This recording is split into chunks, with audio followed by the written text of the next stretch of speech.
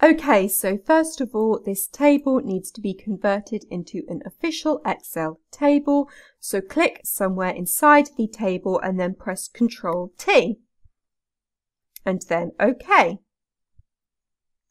Then I'm going to clear the table formatting and remove the filter button to change the table back to the way I want it to look. Then in the Table Design tab, select Insert Slicer.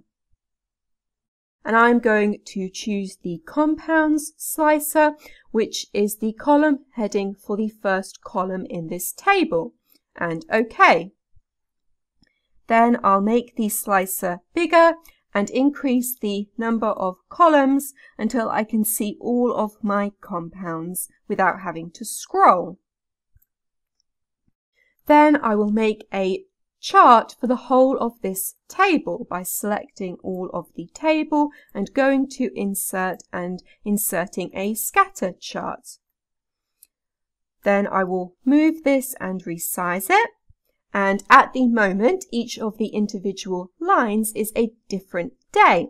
But I want this to be the other way around. I want each of the compounds to be a different line.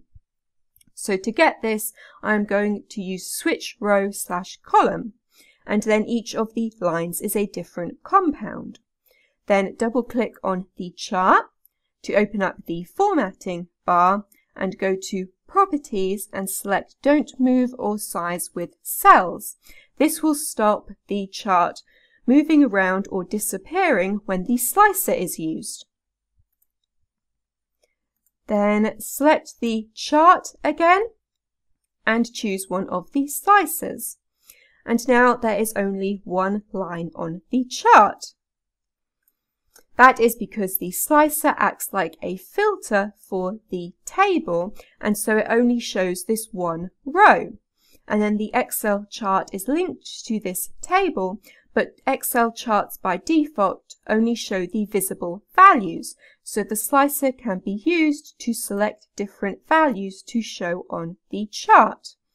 It is possible to select multiple values at the same time by holding down Control and then selecting them. It is also possible to deselect a value just by holding Control and then clicking it again. Then to clear all of the filters, you can use clear filter up here and that will bring everything back. And there is this multi-select option, which will allow you to select multiple options at the same time without having to hold down control. And then to deselect a value, you just have to click on it again.